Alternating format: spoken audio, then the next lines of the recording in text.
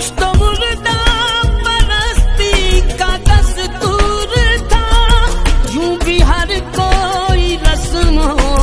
मजबूर था। ज़िंदा लोगों के घर में अंधेरा रहा। लोग कब्रों पे शम में जलाते रहे। अश्क आँखों में लेकर तुम्हारा